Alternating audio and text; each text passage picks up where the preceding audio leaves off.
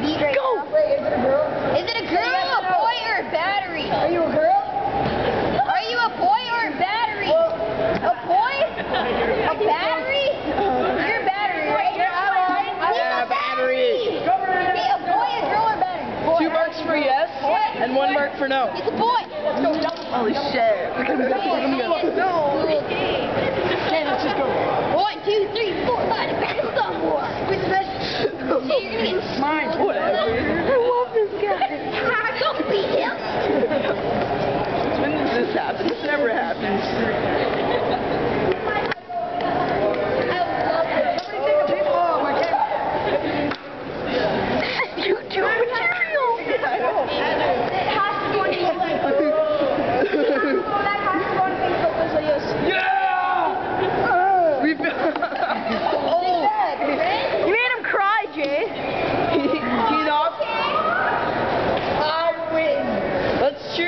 doing some Soldier Boy.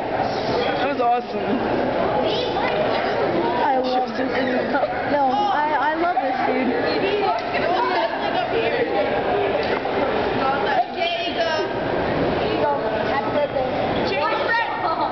Are you a 25 year old drunk in a battery suit?